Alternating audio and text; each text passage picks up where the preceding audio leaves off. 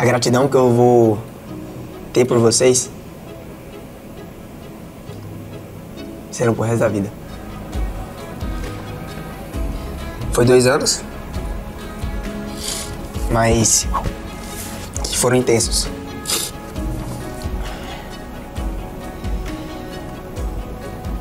Vou sentir saudade de cada um.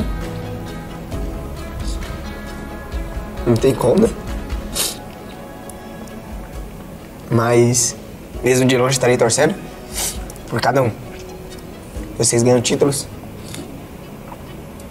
ganham jogos, levem esse clube a patamares muito mais altos que ele já está.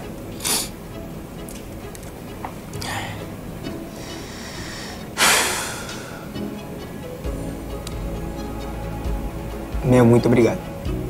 Fala nação rubro-negra, tudo bem com vocês? Flávio TV na área. Galera, emocionante, né? Essas palavras aí do Michael na sua despedida e com certeza uma boa parte da torcida também está bem triste com a sua saída, mas que ele seja feliz onde ele for. E no vídeo de hoje, é lógico, a gente vai falar da saída do Michael, da chegada do Marinho, valores de salário, quanto que o Flamengo pagou para ele vir, em relação ao próximo passo do Flamengo. Quem será esse próximo jogador que virá a vestir o manto vermelho e preto em relação a Flamengo e Fluminense? Não vai ser mais em Brasília e essa partida foi para o estádio Raulino de Oliveira em Volta Redonda. Em relação ao Davi Luiz, Davi Luiz realmente rasgou elogios à estrutura do Flamengo, ele não escondeu que o Flamengo tem tudo, é um clube completo. E sobre as transmissões do Campeonato Carioca. Gostei bastante da gente ter várias opções de transmissão e cada um poder ver aonde é, achar melhor, aonde achar que a transmissão é mais legal de ver. Essas e outras a gente vai encontrar agora na Flagela TV, mas antes disso, deixe seu like, se inscreva, inscreva no canal e vamos para as notícias, que é o que interessa. Incrível! Incrível! Nada é impossível! Isso aqui é Flamengo!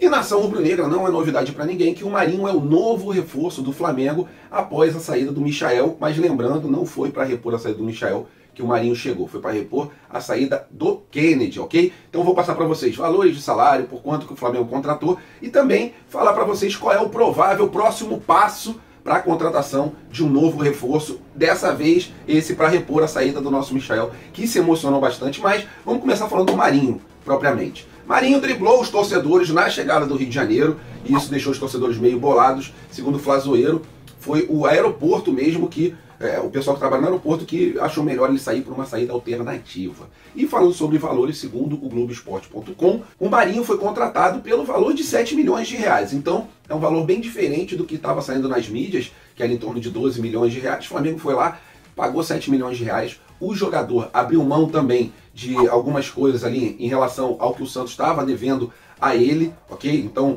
é, demonstra aí vontade do jogador vir jogar. Ele já entrou em algumas polêmicas, né? Quando era jogador do Santos ainda, né? Ele vazou um vídeo dele querendo jogar no Flamengo, comemorando o título, e essas coisas pegaram muito mal durante a carreira dele.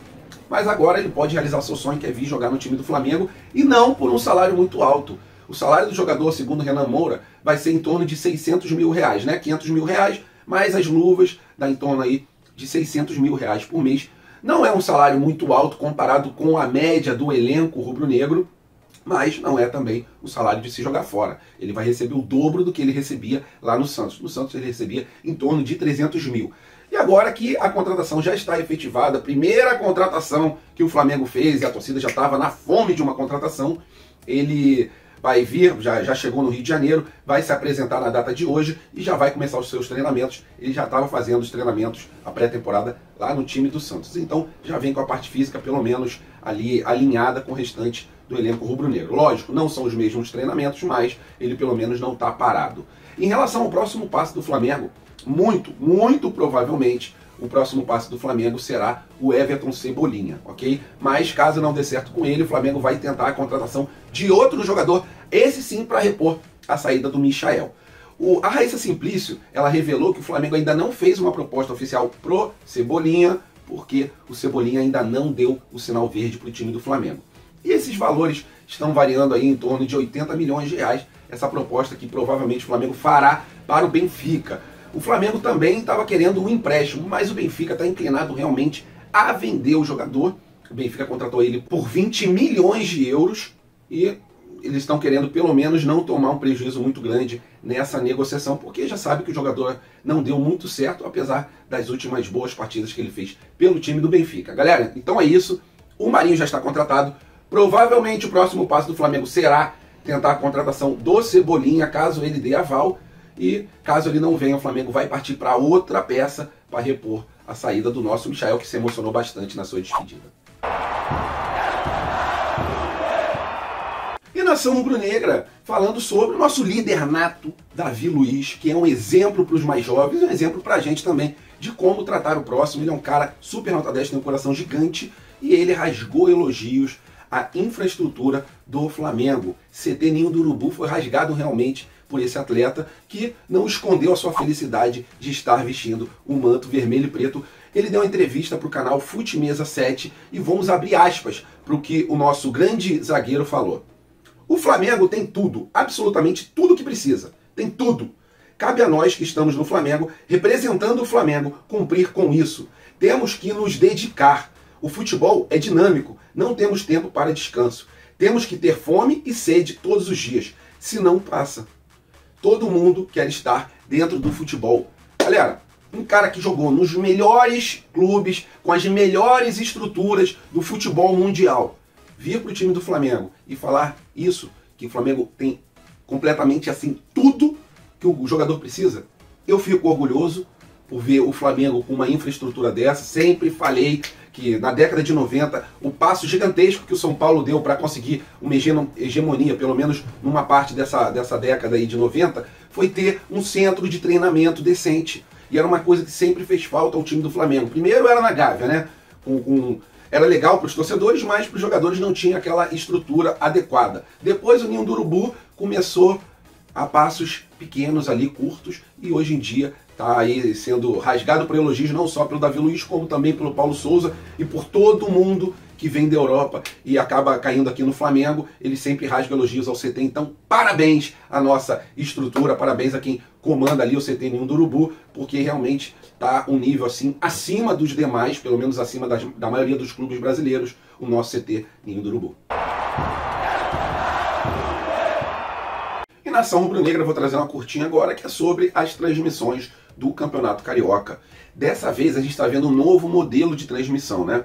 A gente pôde acompanhar a partida pela Flá TV+, pela Record, pelo Flow Esportes, pelo canal do Casimiro, pelo canal da Ronaldo TV. Isso é democracia na hora da transmissão, coisa que a gente nunca tinha visto quando estava nas amarras da Globo. Não que a Globo não transmitia com qualidade, sim, tinha uma qualidade muito grande, só que podava, às vezes, o torcedor de querer ver em outro lugar, com outro tipo de comentário.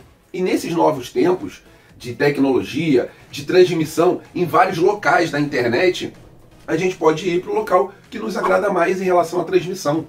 Transmissão do Casimiro foi muito boa, da Flá TV Mais foi muito boa, do Flow Esporte foi muito boa, foi sem aquela pegada ali muito profissional, mas com comentários sensatos e realistas sobre a partida, mas sem aquele clubismo né, que a gente está acostumado às vezes ver na televisão, que o narrador às vezes você consegue perceber que ele está narrando com muito mais força para o adversário, dando comentários ali de é, meio que de frustração porque o adversário não faz gol. Então, nessa, nesses novos tempos de transmissão, pelo menos no Campeonato Carioca, e essa é uma tendência para os próximos 10 anos, daqui a 10 anos, com certeza, as partidas do Campeonato Brasileiro, Libertadores e etc., vão estar também distribuídas na internet para cada um ver a narração do jeito que gosta mais. Então é isso, galera. Gostei bastante desse novo formato do Campeonato Carioca, onde a transmissão não vai ficar centralizada num lugar só, e sim em vários lugares, e o torcedor vai poder escolher o local que mais o agrada. E nação rubro-negra, uma curtinha. Após desistir Flamengo e Fluminense de jogar em Brasília, esse jogo foi confirmado para o Raulino de Oliveira em Volta Redonda, partida que será jogada no próximo dia 6, às 4 horas da tarde, e essa desistência é, se deu por a, a, não possibilidade da presença de público em Brasília. E no Raulino de Oliveira é, terão aí 50% dos, dos ingressos disponíveis para a torcida poder ir curtir o Mengão e também torcedor do Fluminense poder curtir o tricolor. Em relação a valores de ingressos, os ingressos vão variar entre 20 a 120 reais, ok? E lembrando, a pessoa que for para o jogo tem que mostrar o comprovante de vacinação completo ou a, a, o, o, comprovante ali que está negativado em relação à Covid. Faz um exame, se o exame der negativo, pode ir para o jogo e também quem já tomou as duas doses ou até a terceira dose de reforço. Quem está com a vacinação completa, galera. Então é isso. Fiquem com Deus se gostaram do vídeo. Deixe seu like, se inscreva no canal. Até a próxima e fui!